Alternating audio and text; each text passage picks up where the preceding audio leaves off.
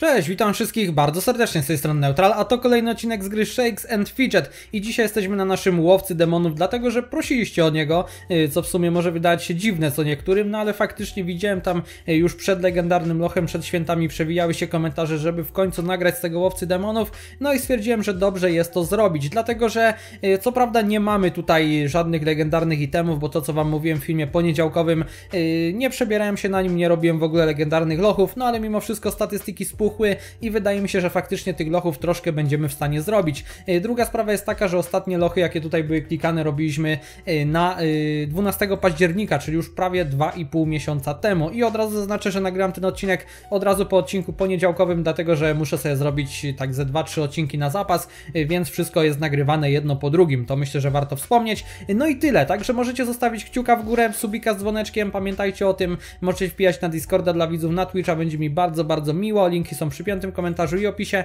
ale kciuk w górę i subskrypcja z dzwoneczkiem, kciuk w górę, tak jakoś pokazałem dziwnie, y, kciuk w górę i subskrypcja z dzwoneczkiem to są dwie najważniejsze rzeczy i o tym zawsze pamiętajcie.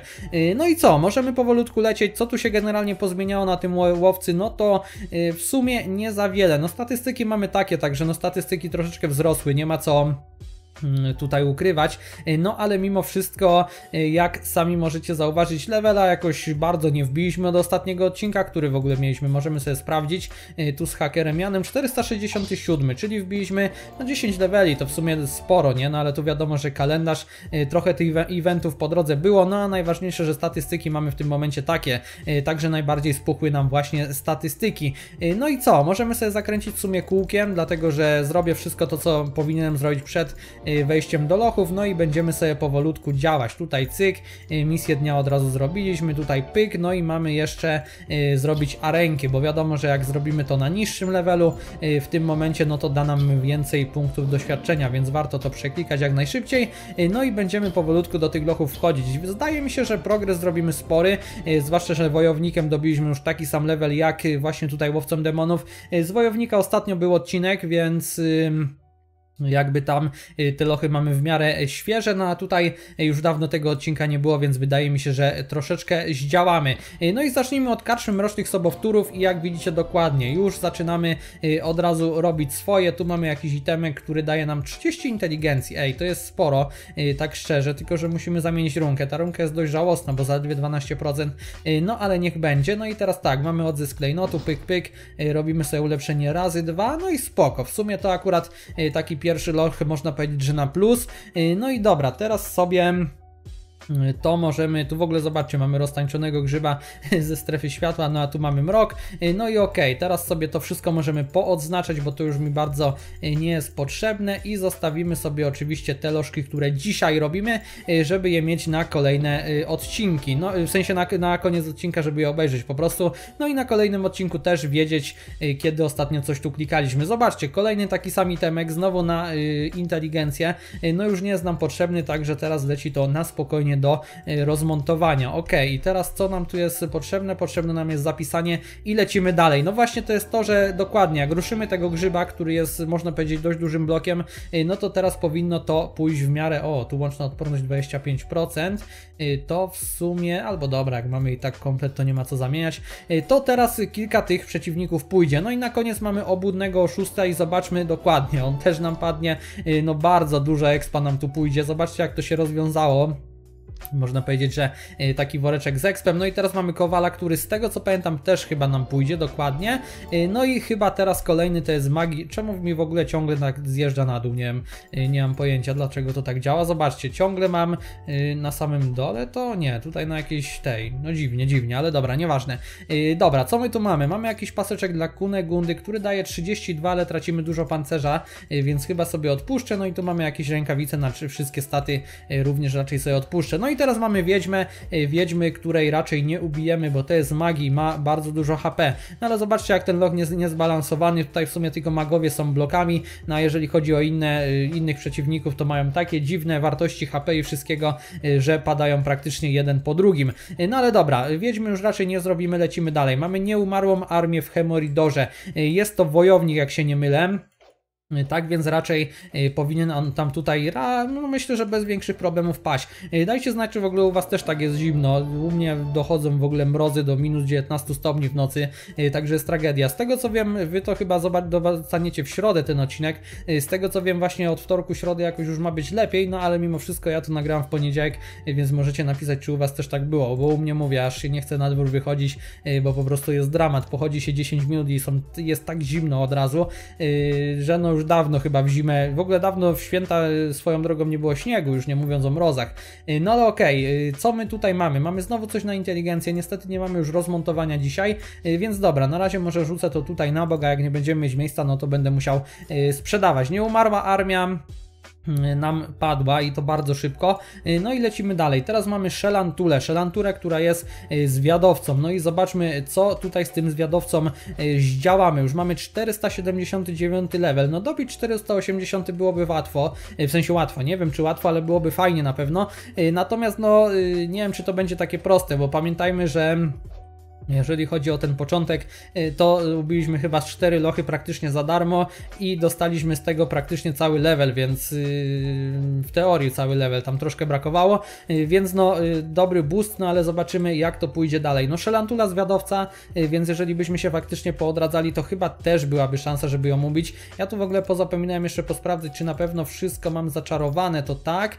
No i tutaj jeszcze runki, to jest też bardzo istotne, żeby zobaczyć, czy u pachołków wszystko jest ok, no bo wiadomo, że troszkę tam jakichś itemków im może pozmieniałem ostatnio czy coś, a ja tak bardzo się, jeżeli chodzi o ulepszenie, nie, yy, jakby nie skupiam na tym, yy, bo wiem, że i tak sobie właśnie przed klikaniem lochów to zawsze sprawdzam, tak jak to robię w tym momencie, ale widzę, że wszystko jest git, wszystko jest zrobione tak, jak być powinno, yy, więc jak najbardziej ok. No dobra, no kurczę, szczerze mówiąc nie wiedziałem, że się zatrzymam na Szelantuli, że generalnie się zatrzymam na zwiadowcy, myślałem, że to pójdzie jakoś tutaj łatwiej, y, no i się zatrzymamy na jakimś magu, czy może ewentualnie na jakimś wojowniku.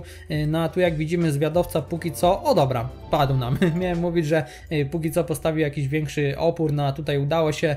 Mamy jakiś itemek, który nam daje wszystkie cechy, więc no musimy go sprzedać niestety. Nie mam już w ogóle tutaj miejsca, jeżeli o to chodzi. Tu mam jak widzicie wypchane epikami, buduje mi się w tym momencie skarbiec 33, więc no tak to generalnie wygląda, jeżeli chodzi o tego łowcę demonów, więc no tutaj itemków troszkę mamy, e, zwłaszcza, że jestem po weekendzie epickim, więc no troszkę na zapas tutaj sobie e, nakupowałem. Dobra, lecimy dalej. Teraz mamy Władcę Dziewiątek i Władca Dziewiątek z tego co kojarzy jest Paladynem.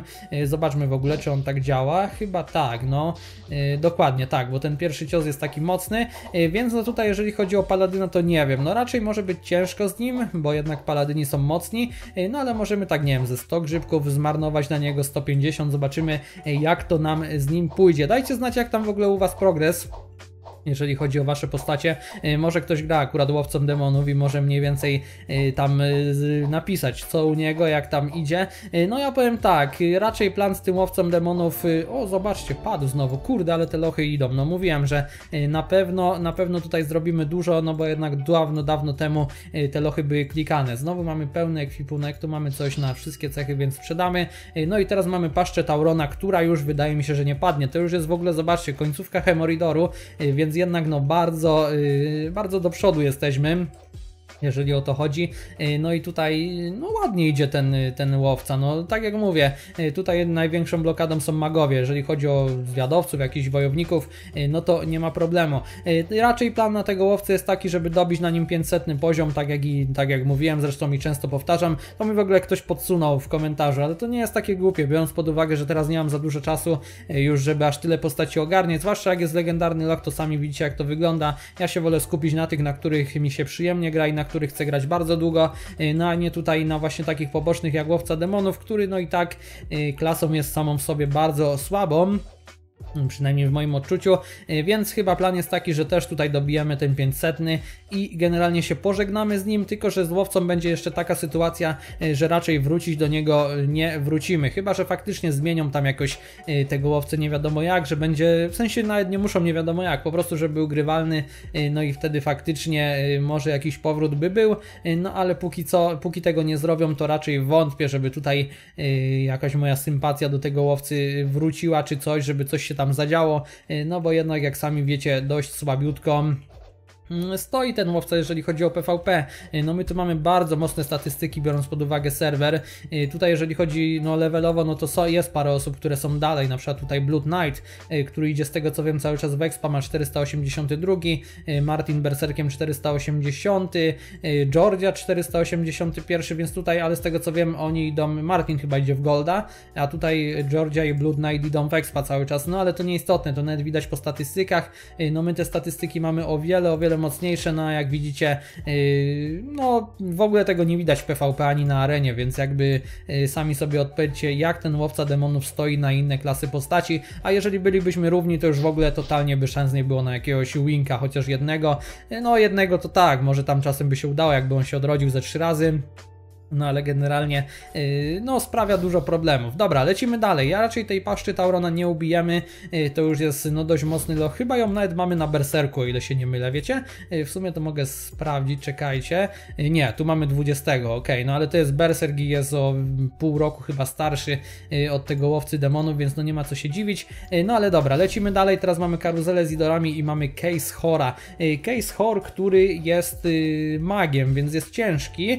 No ale jeżeli jeżeli już y, tyle na nim stoimy, to może faktycznie by się udało y, w końcu go ruszyć. Na pewno by się to przydało, bo to jest kolejna naklejka w klaserze, y, więc urosły nam procenty doświadczenia, które zdobywamy z misji, no ale najpierw go trzeba pokonać, a to może nie być wcale takie proste, dlatego że no na tych magów zobaczmy jak to w ogóle wygląda.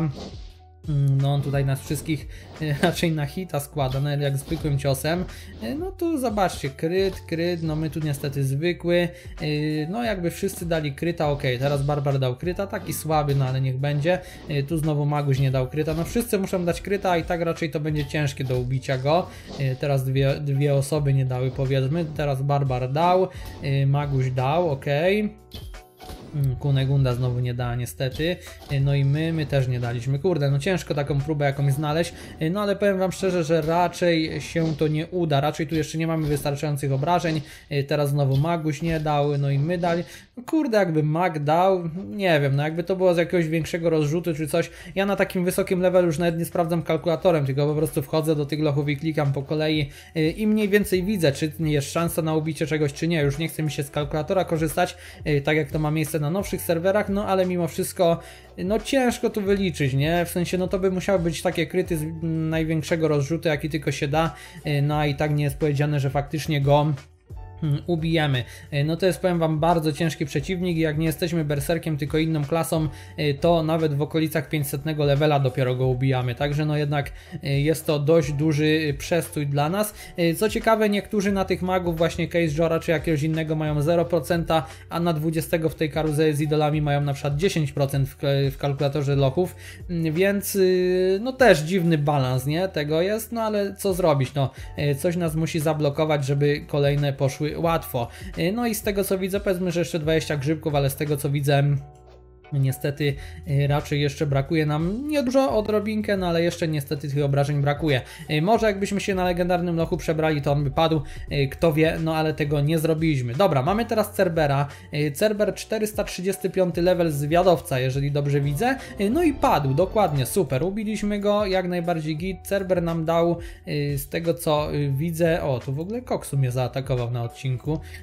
No nieładnie, nieładnie. Jeszcze przegraliśmy, zobaczcie, Koksu który ma 21, y, tu będzie 30, 34,5 tysiąca podstaw łącznie, y, no a my, czyli tyle co my mamy prawie zręczności, a jeszcze mamy 10 koła HP. No i niestety mm, koksu zbyt mocny paladyn, żeby faktycznie nam się udało. No ale dobra, Cerber pokonany, 435 level, więc dostaliśmy te 300 milionów expa, super. No i lecimy dalej. Co my tu mamy? Siła, zręczność, może by było dobre, nie, plus 16, no to musimy niestety sprzedać i lecimy dalej. Tutaj mamy meduzę. Meduza Mac y, to w ogóle nie ma podjazdu, zwłaszcza, że to jest góra Olimp. Y, dobra, karuzela już jest, czyli zostały nam tylko i wyłącznie trzy lochy. Mamy tutaj jeszcze y, nordyckich bogów, tego Lokiego potężnego, mamy tutaj czterorękiego Petera, no i mamy Diabolores. Zacznijmy od tej Diabolores, czy ją się uda? To jest Magno, zobaczcie, same bliskie próby, no i dokładnie, Diabolores bez większych problemów została pokonana. Znowu coś na inteligencję, plus 76, O kurde, jak ja tu dawno pierścienia nie zmieniałem. Dobra, no to zmieniamy od razu. Yy, fajnie, zawsze to troszeczkę na plus będziemy mieć tych statystyk. Yy, tutaj cyk, w ogóle mam 142 miliony. Więc w teorii możemy je wrzucić, y, to nie jest tam jakoś bardzo dużo, no ale czemu nie? Y, no i dobra, i teraz ta Diabolores cyk, y, no i zobaczcie ile my już dzisiaj lochów zrobiliśmy, naprawdę ogromny progres, a wydaje mi się, że to jeszcze nie koniec. Teraz mamy irracjonalnie irytujące Infernusy, które są wojownikiem, no i patrzcie, mamy to, 480 level na naszym łowcy demonów został wbity, czyli jeszcze tylko i wyłącznie 20, no duży, duży progres, naprawdę ogromny, barbar, plus 38, zobaczcie pasek jeszcze daje pancerze na plus. Y, musimy zamienić runki, no ale jak najbardziej mu to wymienimy. Y, tutaj dajemy sobie dodaj miejsce na klejnot cyk, tutaj sobie odzyskamy klejnot. A, jeszcze dzisiaj nic do toalety nie wrzucałem. Y, to w sumie dobrze by było to zrobić, to muszę później ogarnąć, no ale dobra. Czy mamy to zapisane? Ja zawsze sprawdzam z tym zapisaniem, żeby wiecie, ta walka została, bo wiadomo jak te błędy są, to ta walka często tam może przepaść. No i zobaczcie, bestyjka Bella kolejna, która padła.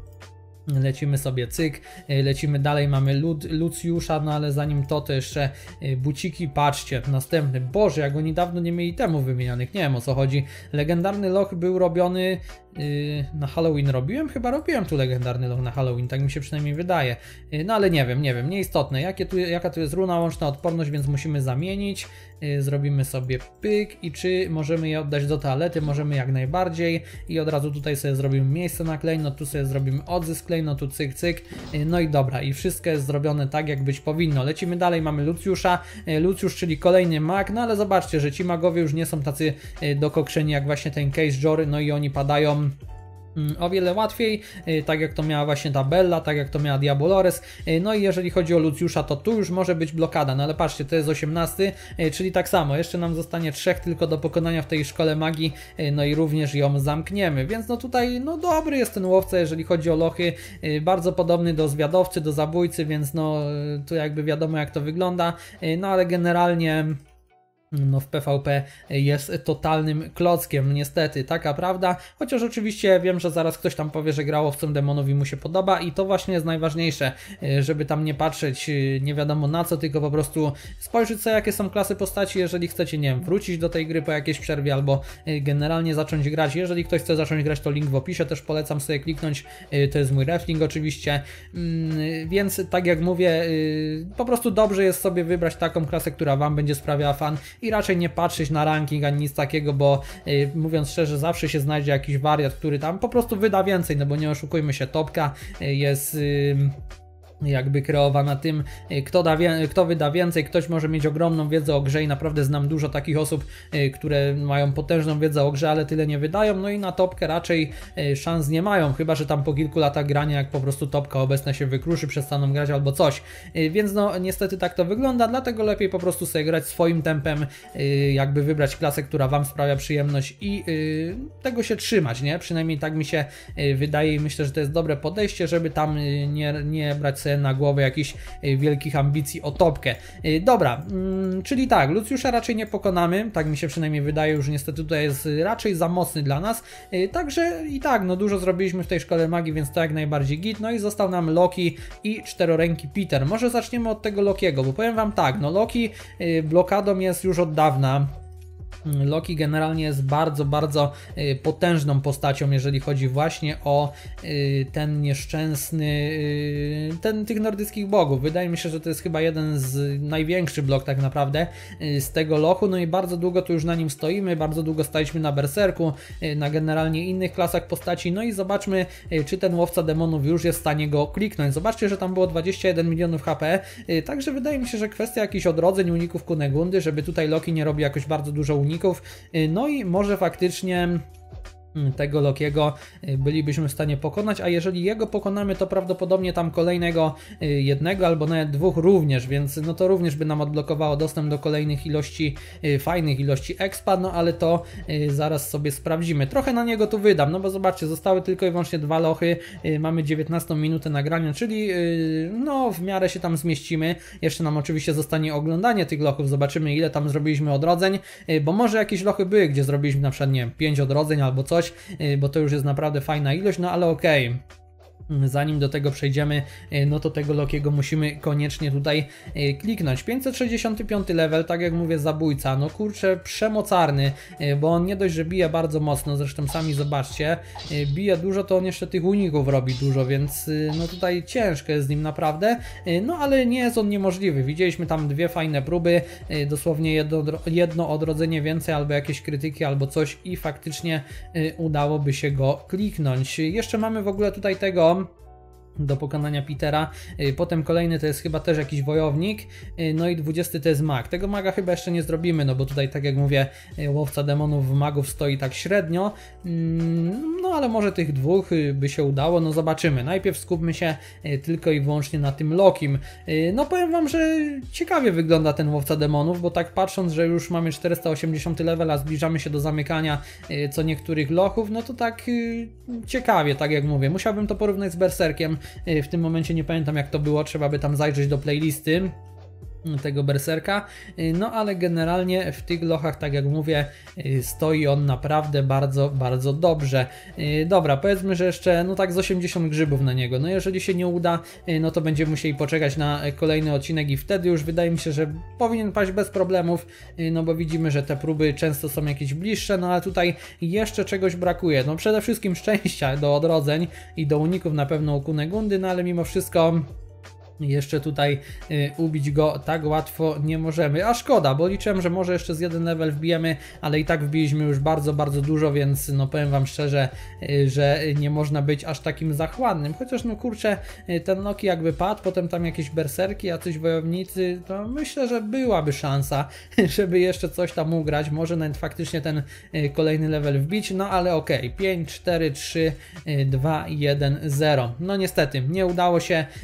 Pol przy legendarnych itemach myślę, żeby padł. To jakby na 100%, y, bo tutaj już naprawdę niewiele brakowało, no ale nie udało się Teraz może e, po weekendzie tym noworocznym, bo też ma być jakiś większy, e, może znowu spróbujemy, albo tam za jakiś miesiąc, albo coś, no nieważne, prędzej czy później on padnie. E, no i okej, okay, mamy ostatniego locha, mamy czterorękiego Petera, no i zobaczmy jak to z nim wygląda. Czteroręki Peter, wojownik, bije bardzo, bardzo mocno, ale jednocześnie jest dość słaby, jeżeli chodzi o tutaj HP, jest po prostu papierowy, więc wydaje mi się, że standardowo jak przy każdym wojowniku w tym 13 piętrze, kwestia uników, kwestia kwestia odrodzeń i dokładnie sama Gunegunda widzieliśmy tam na takim e, jakby podglądzie go ubiła, więc no to super. E, no i teraz mamy kolejnego tylko, że najpierw musimy sobie sprawdzić tutaj plecaczek.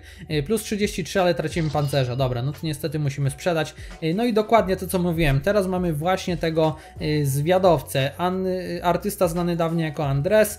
No i zobaczmy, czy z nim uda nam się tutaj wygrać. Zwiadowca, więc on nie powinien być wcale taki trudny.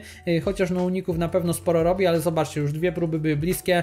Tak więc raczej z nim też problemów e, jakichś większych być nie powinno, tak mi się przynajmniej wydaje i raczej go klikniemy. Największe problemy chyba będą e, z tym ostatnim magiem, którego chyba dzisiaj nie zrobimy, no ale jakieś tam e, kilka prób, kilka prób zrobimy, nie, żeby sprawdzić po prostu jak to wygląda. Też mi pisaliście w ogóle, że dobrym pomysłem byłoby na tą karuzelę z idolami wziąć sobie potki, które, to już chyba mówiłem kiedyś, wziąć sobie potki dla każdej klasy postaci, tylko po to, żeby tutaj e, Barbar czy właśnie Mariusz bili więcej, e, no ale łatwo Wam powiedzieć, w sensie łatwo powiedzieć osobie, która tam ma e, potki na kilka dni, może sobie bez problemu je anulować i sobie wziąć tamte, no jak ja tutaj mam potki na ponad rok, no to jak widzicie, raczej mi się nie opłaca dla ubicia tego jednego lochu, czy tam dwóch sobie zamieniać tych potek i potem od nowa kupować, bo to jest strata golda i wszystkiego, więc jakby chyba sami rozumiecie. Dobra, no lecimy z tym adresem. Liczę, że on padnie, mam taką nadzieję,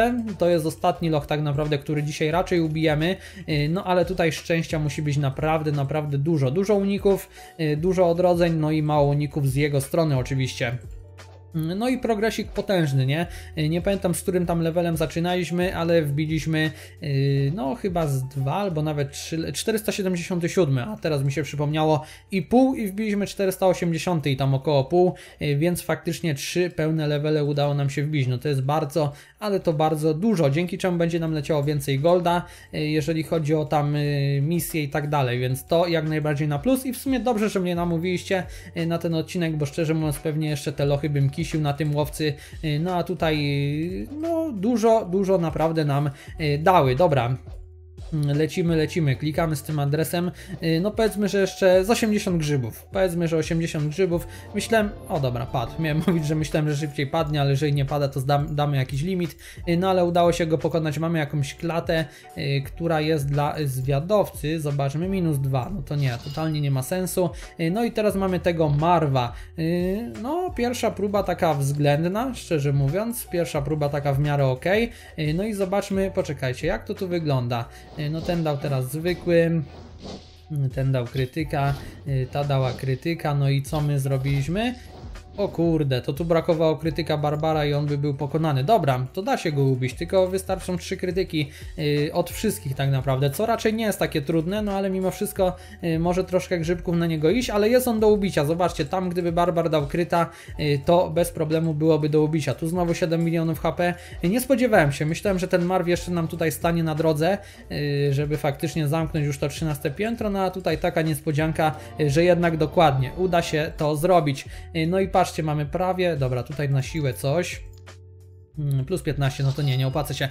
Y, mamy prawie, y, prawie 481 y, poziom po ubiciu tych wszystkich lochów, także no to jest naprawdę dużo. Może, no dzisiaj na pewno nie, ale może nawet jutro już uda się ten 481 wbić. No jeżeli udałoby się tego Lokiego pokonać, to ten 481 by wleciał, no ale nie można mieć wszystkiego, jak to mówią. I okej, okay, lecimy teraz do tej poczty, no i zobaczmy jak to tu wygląda. Jeżeli chodzi o tego grzyba, to tak, Barbar nie zrobił za wiele, Magui zrobił sporo, e, Kunegunda również w sumie zrobiła sporo, e, no i na sam koniec my musieliśmy go tylko i wyłącznie dobić. Kiedyś to był problem, pamiętamy, próbowałem go ubić, nie udało się, e, no a teraz jak sami widzicie, bez większych problemów. No i dobra, lecimy dalej. Teraz mamy opuszczonego wartownika, którego standardowo ubił sam Barbar, to mówię, no ten balans tych lochów jest dla mnie jakiś dziwny, no ale niech będzie, lecimy dalej, mamy karczmarza, Karszmarz Wojownik, y, tu Barbar mu zrobił naprawdę sporo, y, Maguś również nieźle, no i Kunegunda sporo. I my chyba raczej się odradzać wcale y, nie musieliśmy, tak mi się przynajmniej wydaje, ale możemy obejrzeć tą walkę. Raczej nie, bo zobaczcie, że on nas, nas tutaj bije no dosłownie śmiesznymi ilościami obrażeń, no raczej nie, ale dobra, obejrzymy do końca dla y, pewności, jak to w ogóle tutaj wyglądało, jeżeli chodzi o walkę z nim. No kurde, progres fajny, musicie przyznać, że progres fajny, no i za taki progres musicie y, zostawić łapę w górę, no bo prawie 4 levele wbiliśmy, no to jest ogromna ilość jak na ten, y, jak na ten etap gry, więc no musicie sami przyznać. Dobra, lecimy dalej. Obłudnego oszusta mamy, no tu już Barbar tak dużo wcale nie zrobił, Maguś w sumie również, Kunegunda też nie, ej, to tu wydaje mi się że mogą jakieś y, pierwsze odrodzenia już siąść. Sami spójrzcie, że y, no zostało mu prawie pół HP. Co prawda no on tej zręczności ma bardzo mało, więc no, nas tutaj bije y, za tyle co nic, no ale mimo wszystko on te uniki jeszcze robi coś tamtego, więc ta walka no naprawdę długa może być. Tu jeszcze 478 level. Mm, no i zobaczmy, tu fajny krytyk za 280, tu 350 prawie, tu unik 12,8, no on nas tu dosłownie jakieś malutkie wartości y, nam zbija, no i wszystko wygląda na to, że faktycznie się odrodzimy. Ja lubię jak ten łowca demonów się odradza, bo potem jak ta walka trwa jeszcze dłużej, y, no to on zaczyna takimi bułami ładować przeciwników, że no to aż się przyjemnie ogląda, y, tylko że póki co tutaj nie może trafić. Zobaczcie ile on robi uników, no to jest dla mnie jakieś dziwne, naprawdę, że ci przeciwnicy w lochach są w stanie aż tyle uników zrobić, no ale zobaczmy, no tu była za pół miliarda, no i kolejne odrodzenie, to już mamy drugie, no i teraz patrzcie, 600, 600, no i tak naprawdę jest chyba tylko i wyłącznie na hita nawet zwykłego, przynajmniej tak mi się wydaje, nie, na dwa zwykłe hity jednak, no i tu za 700 i udało się go ubić, y, czyli, no ale mimo wszystko tutaj już potrzebowaliśmy dwóch y, odrodzeń. Y, dobra, lecimy dalej. Tu kutliwemu Kowalowi Barbar zrobił sporo, y, Maguś również, Kunegunda również, wszyscy zbili fajną ilość HP. No i jeżeli chodzi o naszego neutrala, czyli łowcę demonów, to chyba bez odrodzeń tutaj mu siadło to. Czyli zobaczcie, no ten początek bardzo mocny, bardzo dużo expa, dzięki temu sobie tutaj wbiliśmy. 422 level, 422 miliony HP oczywiście, mm, chociaż zobaczcie, no on tutaj sporo blokuje, ale nie, raczej dwa takie takie kryty, y, no tu jeszcze cyk, no i dokładnie krytyk i bez odrodzenia udało nam się go y, pokonać. Teraz lecimy dalej, nie umarła armia, Barbar nie zrobił prawie nic, y, tutaj jeżeli chodzi o Magusia to tak samo. No i patrzcie, Kunegunda też w sumie za dużo nie zrobiła, y, więc tutaj no y, pewnie jakieś, naprawdę na pewno dużo odrodzeń było, tak mi się przynajmniej wydaje. Y, No i te krytyki, naprawdę duże krytyki. Pierwsze odrodzenie mamy 100 milionów, 139 milionów. Tutaj cyk, ok, drugie odrodzenie już, zobaczcie. 164 miliony, 186, no i 191, dobra, no i trzecie odrodzenie, trzy odrodzenia, pokazuję cztery chyba, trzy odrodzenia, ledwo bo ledwo, ale udało się, no ale patrzcie jakie to już były hity. I z jego strony i naszej, bardzo mocne, dlatego te walki właśnie na tym łowcy nie wyglądają wcale tak źle, jeżeli chodzi o lochy. Dobra, lecimy dalej. Y, Barbar Szelantuli nie zrobił za wiele, Maguś coś tam drasnął, więc git. Y, No i mamy miliard HP, Kunegunda zbija jakieś y, 150 milionów, y, więc nie za wiele. No i zobaczmy jak to wyglądało, jeżeli chodzi o nas. Tutaj chyba też tych odrodzeń sporo było, tak mi się przynajmniej wydaje, zwłaszcza, że ona unikała. Tu mamy za 112 milionów, hita za 147, y, 144, drugie odrodzenie. No i y, tutaj unik, no i chyba, nie, jeszcze trzecie odrodzenie, zobaczcie. No i teraz ubita, ej, no to też tych odrodzeń faktycznie sporo musiało być. Y, Władca dziewiątek, zobaczmy, Barbar zrobił tyle co nic, Maguś coś tam dziabnął. Y, Wow, no tutaj, tutaj to już Kunegunda się po, popisała. Tutaj y, Kunegunda zbiła chyba, nie wiem, miliard dwieście milionów albo coś takiego, musiałbym cofnąć, nieistotne. No ale odrodzenie i tak, jedno było wymagane, zobaczcie z naszej strony. No i chyba tylko jedno, dokładnie, tylko jedno odrodzenie, no ale Kunegunda tą walkę totalnie, totalnie wykierowała. Tutaj nie ma co mówić. Y, Dalej, Cerber. Cerber, y, zwiadowca z prawie 9 miliardami HP. Y, Barbar zrobił tyle co nic. Maguś tak samo, 7 miliardów 200 milionów. Zobaczcie, Y, Kunegunda nie zbiła prawie, no coś tam zbiła, ale nie za wiele. Y, No i teraz po raz kolejny my. No to będzie długa walka, przynajmniej na początku, będzie się dłużyć, y, bo ten Cerber ma bardzo mało zręczności, więc on nas tutaj dosłownie smera. No my go coś tam bijemy, ale też nie wcale jakoś bardzo mocno. Tu jeszcze uniki wchodzą w grę. Y, Tam był krytyk za 240 milionów. No zobaczmy, zobaczmy, bo jestem ciekawy, y, jak to faktycznie dalej pójdzie. Tutaj cyk, y, 75 milionów, tutaj mamy 295. y, No, jakieś fajne krytyki z jego strony, dosłownie, no bida. No ale okej, mamy pierwsze odrodzenie i zobaczmy. Powoli się ta walka będzie rozkręcać, jeżeli chodzi o obrażenia. Y, 400 milionów tam prawie było, teraz mamy prawie, no 470 powiedzmy, teraz mamy prawie 500, patrzcie, teraz znowu prawie 500. No właśnie, to jest to, o czym mówiłem. Ok, mamy drugie odrodzenie, y, 156 milionów, 500 milionów, y, 149, y, 511, y, 157. y, No, powiem Wam, że jako tako to wygląda. Dwa odrodzenia były, jeżeli się nie mylę. I mamy trzecie odrodzenie, zobaczcie. No póki co chyba w każdej walce, w której się odradzaliśmy tak więcej razy, no to y, na trzech się zatrzymywaliśmy, z tego co widzę. Y, Z Cerberem możliwe, że będzie podobnie, chociaż jeszcze zobaczmy dokładnie. 660 milionów kryt, bardzo mocny, y, no i walka została zakończona. Ok, teraz mamy Diabolores, ta walka powinna być w miarę szybka. Y, Barbar swoje zrobił, Maguś tutaj mm, dwa krytyki, y, więc w sumie swoje też. Jeżeli chodzi o Kunegundę, y, to jeden krytyk, jeden zwykły, drugi jeszcze krytyk, no i my tak naprawdę musieliśmy ją tylko dobić. Zobaczcie sami, pierwszy krytyk, drugi krytyk, no i bez większych problemów. Dobra, zobaczmy teraz te Infernusy. Barbar za wiele nie zrobił, Maguś coś tam dziabnął, 930 milionów. No, Chapo Kunegunda po raz kolejny wykierowała całą walkę. Y, My tak naprawdę musieliśmy go tylko i wyłącznie dobić, a i tak jeszcze patrzcie, jedno odrodzenie y, było wymagane, bo te nasze, ciosy bardzo, bardzo słabiutkie, y, no ale udało się pokonać. No i po raz kolejny druga walka wykierowana przez Kunegundę, ale my chyba też ze dwie albo trzy wykierowaliśmy, więc póki co można powiedzieć, że jest 1-1. Ok, zobaczmy jak tutaj. No Barbar tyle co nic. Y, Maguś y, pierwszy krytyk, drugi krytyk i jeszcze trzeci krytyk, więc ok.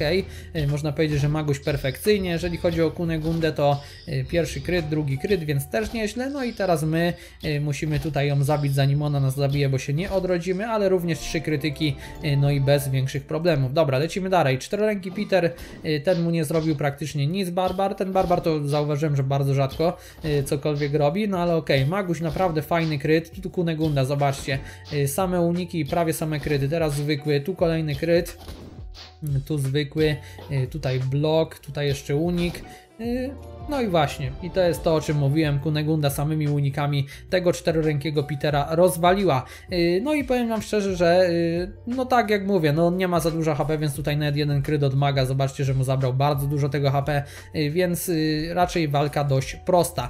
No i teraz mamy tego artystę, Zobaczmy, Barbar. O, jeden kryt walnął, ale to znowu jest tyle co nic. Tu Maguś, no też się nie popisał w sumie. Zobaczmy, o, ta też się nie popisa. Ej, to tutaj może być ciekawie. Zobaczcie, tu w ogóle pierwsze odrodzenie. Patrzcie jak on nas leje, ile on tych uników. Dobra, drugie odrodzenie. Tutaj cyk. Tu mamy, no, trzecie odrodzenie. Ej, to może być rekord. Już mamy trzy. Czwarte odrodzenie, ok. Zobaczcie jak to w ogóle wyglądało. Piąte odrodzenie. Szóste odrodzenie, on już ma, ma nas na hita. Siódme odrodzenie, jeżeli się nie mylę. No i teraz go ubiliśmy.